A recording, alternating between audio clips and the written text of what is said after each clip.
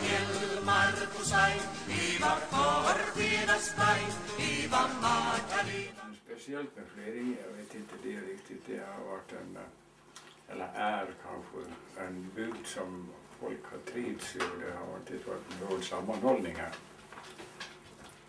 Åtminstone förr i tiden. Nu är det väl lite annorlunda för nu är det så mycket folk över åtsidan som kommer hit.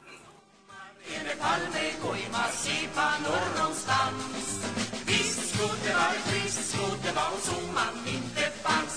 Sommarkommar med sol, komma i var Helmar på Svein. Vi var Förfedarsvein, vi var Marta, vi var Ein, vi var Maurar. Den här gården har jag bott sedan 1962.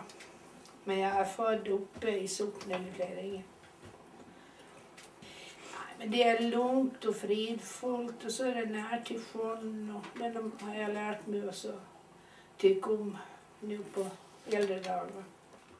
Sånt som Agnes Fjord någon annanstans Visst skulle det vara trist, skulle det vara om Gotland inte fanns Sommarkommar vi såg, komma i var Helmar på Stein Vi var Förfedarsvein Somrarna har varit bra och eh, genom bra för vi har vår lilla båt nere vid sjön och där bor vi på sommaren. Och det är fint.